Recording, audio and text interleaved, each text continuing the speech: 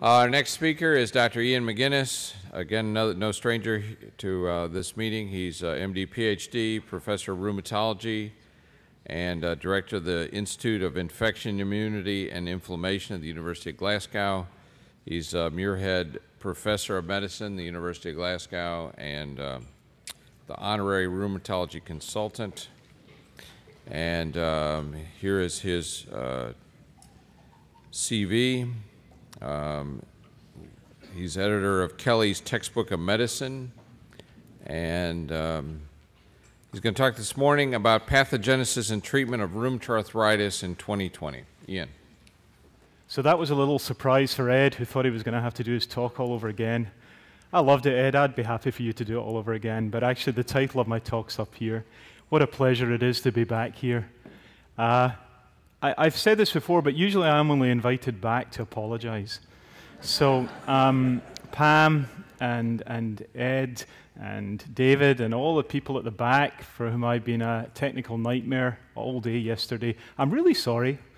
Um, I, I don't know what I did wrong, but I'll do it better next time. It's lovely to be here, isn't it? Like Ed, it's been a long winter in Glasgow.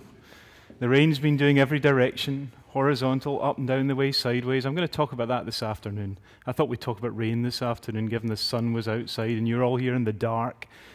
Ah, I tell you. And then, of course, there's the other problem with coming to America to give a talk at a meeting. Um, because David and Pam insist on a title and slides about eight years in advance. Now, I, if you ask my wife, uh, don't know what I'm doing eight minutes in advance. So what I uh, did was I sent a few slides along. They're in your handout and they're on some kind of snappy drive thing in your, uh, in your badge. I have no idea what that is, but I hope you thoroughly enjoy them. Um, they may not have a great deal of relevance to what I'm going to talk about for the first part of my talk today, um, but they're absolutely directly relevant to the second part. Um, so anyway, these are, uh, these are my various disclosures, so clearly I've been very, very bad. And uh, these are the very generous people who, who give us money to do some of the things that I'm going to tell you about. Um, so I, I, thought, however, I would start with just a little bit more explanation um, of where I come from. You know, over the years, I've been a little bit disparaging about Glasgow. You know, I've just occasionally mentioned that it was a city that had the odd, very, very subtle foible, just, the, just a little ripple of imperfection. And I thought it was maybe time to redress the balance while I was here. So I wanted you to know, first of all, that there are um, the, the three oldest English speaking universities um, in the world were, were Cambridge, Oxford, and St Andrews. But none of them are terribly important.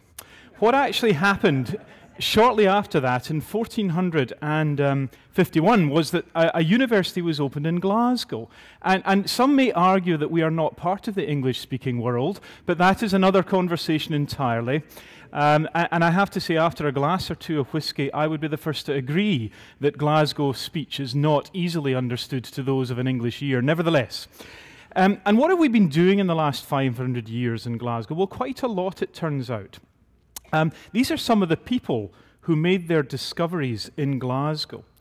Now, I, am going to use the laser, and I'll kind of go in either direction. If, if I had two lasers, I would do this. Um, but I'm very uncoordinated, and I'd likely be giving you laser therapy in your retina on a regular basis. And I didn't see any shades. You should have been given 3D shades to wear today, and then you'd all have been safe. The fellows, by the way, who were wonderful yesterday, we had an unbelievably brilliant day with the future of rheumatology in this great nation is safe. Let me tell you. When I get a sore joint, I'm going to specifically fly to America to meet any one of those young fellows. They were so spectacularly brilliant. So if any of them are still here, that's three tequilas on the rocks tonight, okay? Now, they, w- back to Glasgow. So what was going on in Glasgow? Well, um, James Watt discovered the steam engine and started off the Industrial Revolution. Um, here's Joseph Black, who was the father of modern chemistry uh, and actually the originator of, of the, the, whole notion of small molecule inhibition. John Logie Baird invented the television, believe it or not. Adam Smith was the father of modern economics. And, and here's Lord Kelvin, whose, uh, whose office is just next to mine in Glasgow, although he's been dead quite a time. Um, and, and I, I, I, therefore, and uh,